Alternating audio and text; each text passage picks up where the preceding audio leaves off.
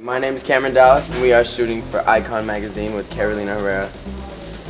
Super stoked!